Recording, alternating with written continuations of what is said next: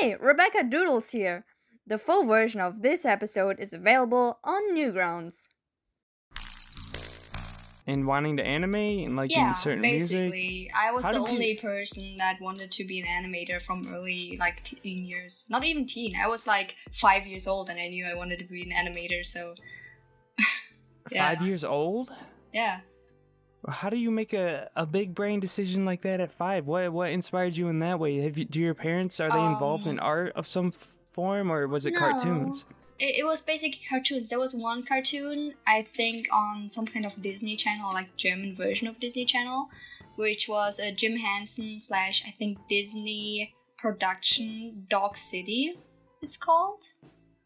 Okay. Um, and it's it's a very old cartoon, but it shows basically this hand puppet that is an animator, and you see like the easel and like the place where he draws the animations, and on the paper, on the animation paper, uh, the Disney production is the um, they animate the figures on the paper like they're talking to the dog puppet who's the animator, and it's I- it's really nicely done.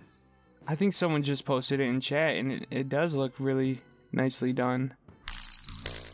But like your audience is just like your community then. Like you're not trying to pitch it as a show, you just want to work on it and have it out there, is what I'm assuming, and Yeah. maybe have have people attracted to it enough to support the Patreon. Yeah, because recently I went to through a friend uh, to a Zoom meeting with the guy or one of the people that made Spyro the Dragon, and Oh, because wow. the, the dude is in the industry, I was just like asking like, oh, how do I pitch the best? You know, just a few questions because I'm not I'm not in California, right? I, I can't Yeah. just walk into some studio's door and like I have this new cool thing, right? Okay, that makes sense then, because the whole community is centered like on FurAffinity. I and when I was 13, I had a FurAffinity account. My older brother had one. I was like, "Hey, this looks cool." And then me and my best friend made one, and they were like, "Hey, I'm 13. This is weird." Yeah. Everyone's having sex with everyone. What is going on here? oh, have you, have you seen the spiral tag on there? Oh my god. Oh God. A lot of parents pay attention to their kids, and if they get if they're getting bullied and they're not finding a way to express themselves, then it just ends up really bad. Oh, yeah, So I'm glad you Like- had that. Yeah, like my parents, uh, each each year we would always around the holiday time do like big trips around Europe, right? So they would always give me like a confident boost because for some reason, always when I was away from class and just talking with people who didn't even speak German or English, and I had to communicate with like hands and feet and stuff, I would always instantly make friends, right? Yeah. And when I was at home in class, I wouldn't. So I felt like something was weird about that, right?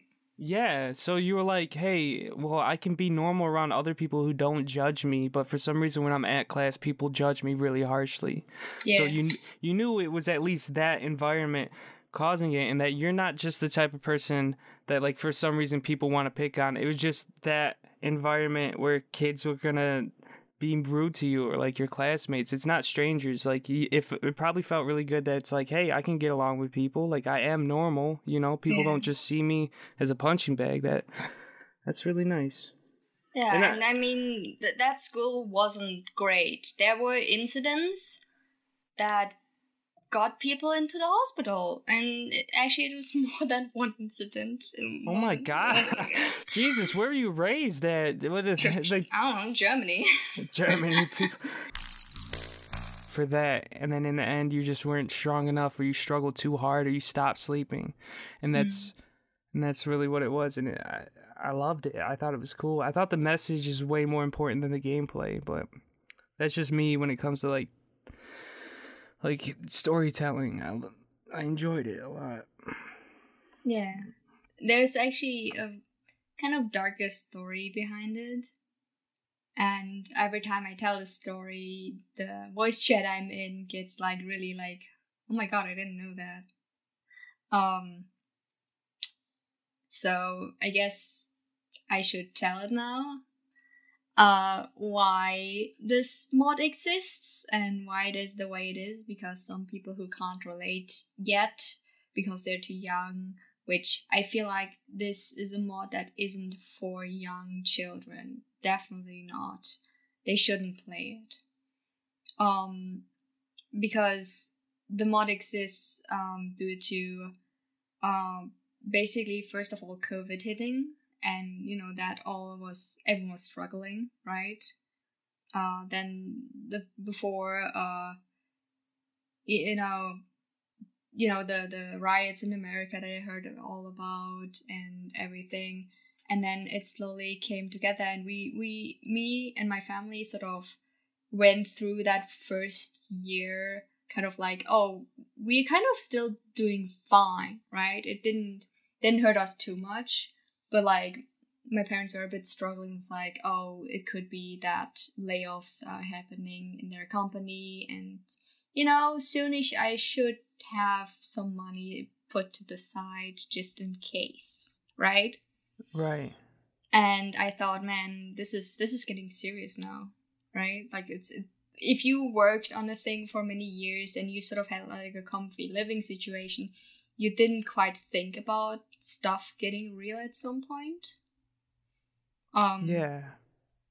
and then, you know, uh, this year, this re- relatively at the start, I think it was like two months in. Um, basically, I had an appointment to get my wisdom teeth removed, right?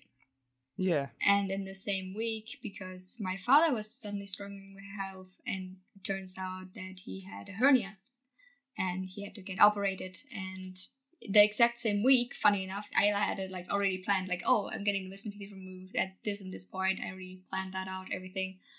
Um, he then, because it was supposed to be quick, getting stitched up and everything, the hernia, it was the same week. And the same week as well, my mom went to the hospital